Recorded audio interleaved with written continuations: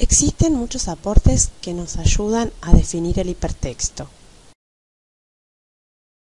El diccionario de la Real Academia de la Lengua lo hace como texto que contiene elementos a partir de los cuales se puede acceder a otra información. Podemos decir que el hipertexto es un texto que es más que texto, que es más que una palabra tras otra.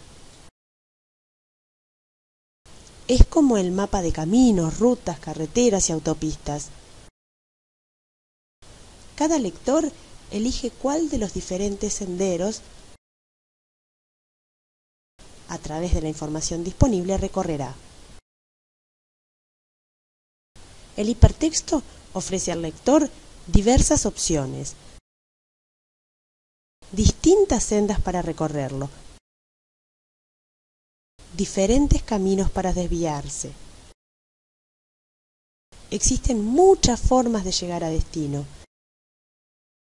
Depende de si estamos apurados,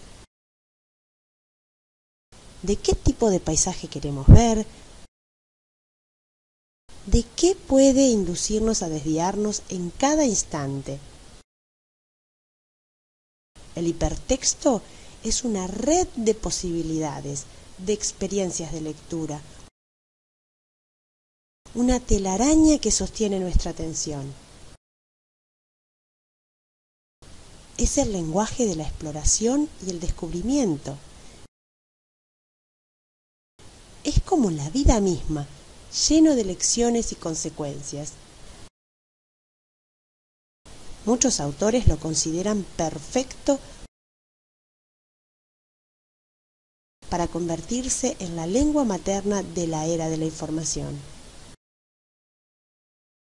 Tanto para escritores como para lectores, es posible que el hipertexto